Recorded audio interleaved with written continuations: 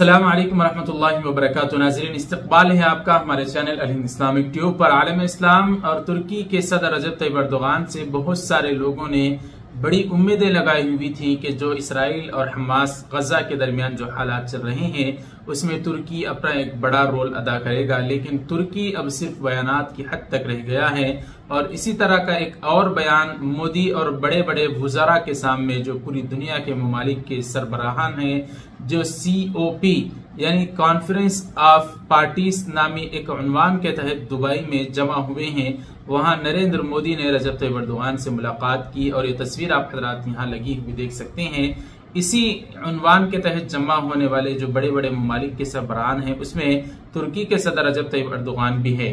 जी हाँ नाजर इकराम, इसमें रजब तैयब अर्दोगान ने तमाम ममालिक के सरबराहान के सामने फलस्तीन गजा पर जो जुल्म सितम के जो अंबार टोटे, तोड़े जा रहे हैं, इसके खिलाफ उन्होंने हजब मामूल आवाज़ उठाते हुए कहा कि गजा में जो कुछ हो रहा है, वो इंसानियत के खिलाफ जुर्म है। ये एक जंगी जुर्म है। मुजरिमों को बैन अवी कानून के सामने जवाबदेह होना चाहिए। रजब तैबरदगान के बयान आर टी उर्दू ने ट्विटर पर शेयर किया है। नाजर इकराम, अब क्या हमारे जितने बड़े बड़े सरबराहान हैं, सुदूर हैं, ममलकत के जिम्मेदारान हैं।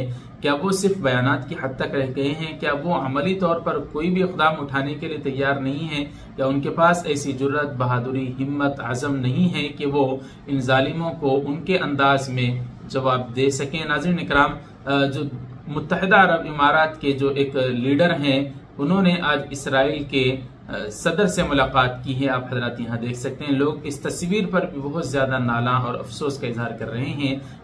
होना तो ये चाहिए था कि इन लोगों का तुम बाइकाट करते और अपने मुल्क आने से रोकते, लेकिन तुम उन्हें बैठकर उनके साथ बात कर रहे हो। ये बात ये होनी चाहिए कि तुम फ़ौरन गजा पर जो बमबारी हो रही, उसको तुम बंद करो और जो मुआहदा हुआ था, जो जंग बंदी पर तुम आमदा हुए थे, उसको मुकम्मल तौर पर या तो जंग बंदी करो।